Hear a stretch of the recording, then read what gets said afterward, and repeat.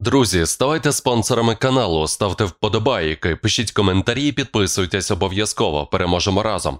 Якщо Кремль дасть команду атакувати, Молдова не зможе самостійно стримати навалу рашистів. Тому Кишинів буде вимушений просити воєнної допомоги в Україні чи Румунії. 15 хвилин тому так зване ПМР знову привело свої збройні формування в найвищу ступінь бойової готовності. Defense Express уже розповідав, що армія РФ у ПМР може сформувати максимум дві БТГР, у розпорядженні яких формально є до 100 одиниць бронетехніки та близько 15 вертольотів типу Мі-8 та Мі-24. І що проксі формування самої ПМР, боєздатність яких викликає викликає сумніви, формально мають до 7 тисяч багнетів, до 40 танків Т-64 Т-72, близько 30 одиниць БМП-1, близько 100 БТР 6070 та до 40 одиниць РСЗВ БМ-21 Град. Не варто забувати і такий момент. В рамках навчань Сібриз 2021 влітку минулого року відпрацьовувався. Наступний сценарій, якщо рашисти атакують з Придністров'я південь Одещини, то Молдова також надає воєнну допомогу Україні, бодай символічну, хоча б один взвод піхотинців. Тим не менше, наразі десант десант з території Придністров'я на Україну малоймовірний. Українські військові можуть зачистити Придністров'я від російських окупантів за два тижні, але це для цього влада Молдови має офіційно звернутися до України за відповідною допомогою. Про це заявив військовий експерт Роман Світан. Він зазначив, що російський контингент у так званій Придністровській Молдавській Республіці у військовому плані Україні не загрожує. Ось де самої Молдови загроза є. Якщо ті протести, які зараз запущені, ті механізми, які росіяни запустили в Молдові, внутрішні політичні процеси, а це дестабілізація вильється в якісь сутички вже із застосуванням зброї. Туди може підключитися російський контингент, який знаходиться в Придністров'ї, зазначив Світан. Він зазначає, що прямого виходу для росіян з материкової РФ у Молдову немає. Їм треба пройти Україну або Румунію, чого вони не зможуть. Ось якщо такий розвиток подій почнеться, коли військові з Придністров'я втрутяться в політичні процеси в Молдові, то тоді, якщо президент Молдови попросить у нас допомоги, ми можемо втрутитися і зачистити ПМР. Два тижні нам вистачить для того, щоб знищити російські російські війська в Придністров'ї. Але ще раз повторю, це тільки на прохання президента і уряду Молдови, сказав Світан. При цьому експерт зазначає, що такий розвиток подій не відтягне українські війська з лінії фронту, оскільки вздовж кордону з Молдовою ЗСУ і так змушені тримати певний контингент військ. Як тільки Молдова у нас попросить два тижні, після цього наші частини підійдуть і посилять вже лінію фронту на тому ж Донбасі. До того ж, посиляться тим, що залишилося в Ковбасній. Якісь є певні озброєння в самій ПМР, тобто посилимося цим ленд-лізом російським або ПМРським вважає світан. До зустрічі, друзі. Ставайте спонсорами каналу, ставте вподобайки, пишіть коментарі, підписуйтесь обов'язково. Переможемо разом.